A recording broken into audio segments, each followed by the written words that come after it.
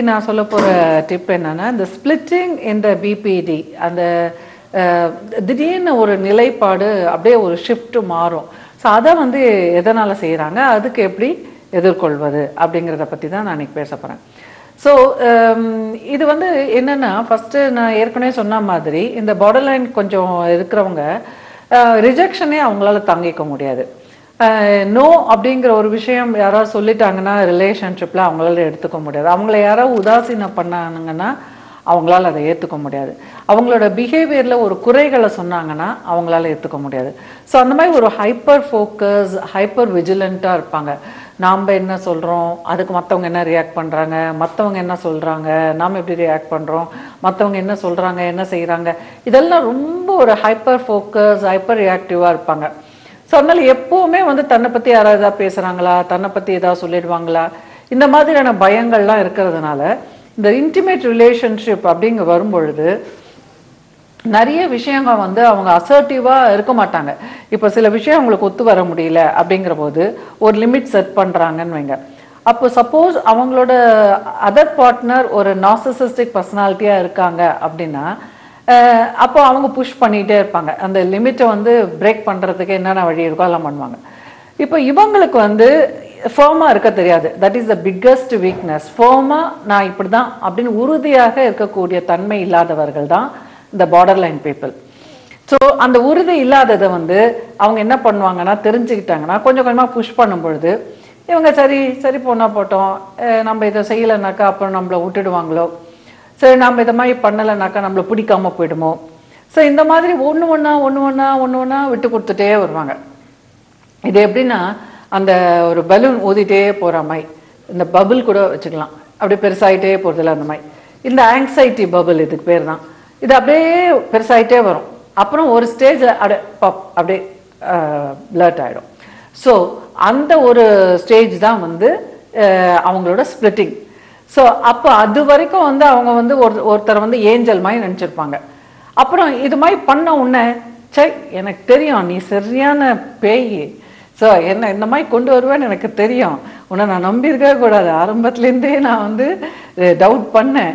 நீ கடைசியில் இப்படி தான் அப்படின்ட்டு டகால்னு அப்படியே தூக்கி போட்டுடுவாங்க.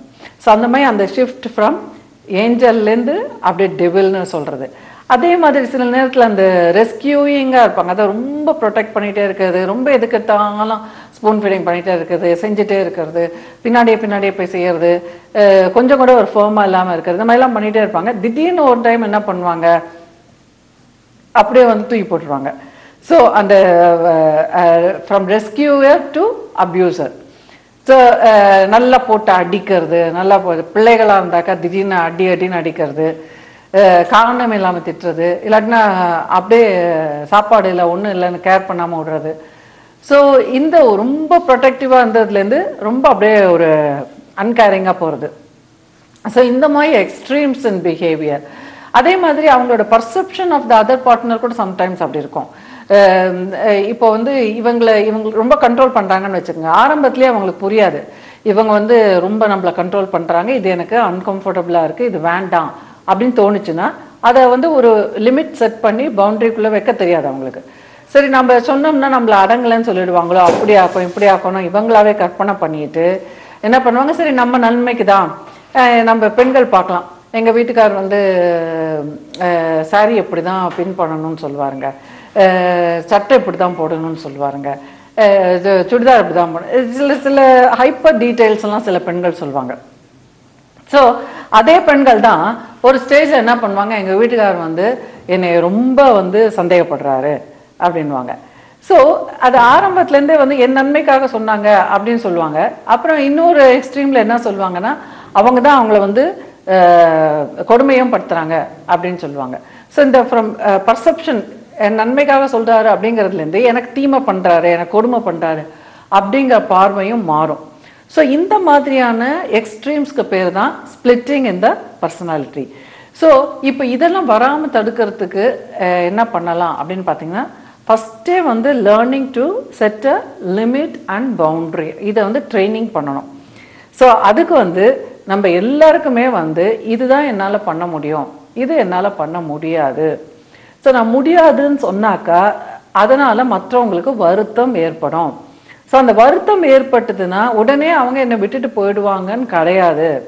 அப்படியே அவங்க விட்டுட்டு போனாங்கன்னா அப்போ அவங்க என்னோட நிஜமான கேர் டேக்கர் கிடையாது. ஸோ அது நம்ம வருத்தப்படக்கூடாது.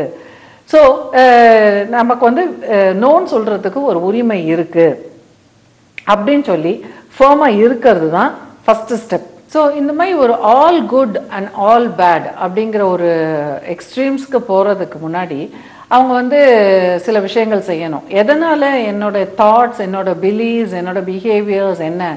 எனக்கு ஏன் திடீர்னு ஒருத்தர் வந்து ந- எல்லாமே நல்லதுன்னு நினச்ச ஒருத்தரை வந்து what makes me think that is all bad அப்படின்னு நினைக்கணும்.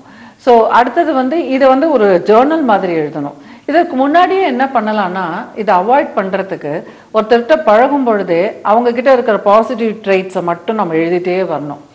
ஸோ அப்போ அந்த மாதிரி நம்ம மனத்துக்குள்ளே நம்ம வந்து ஒரு மூளை செலவு பண்ணிகிட்டே இருக்கும் பொழுது ஒருத்தர் திடீர்னு நம்மளுக்கு ஒரு எக்ஸ் எக்ஸ்பெக்டேஷன் பூர்த்தி செய்யலைங்கிற பொழுது இந்த பாசிட்டிவ் குணம் நாடி அப்படிங்கிற வார்த்தையை மட்டும் நம்ம வந்து மனசில் வந்து சொல்லிகிட்டே இருக்கணும்.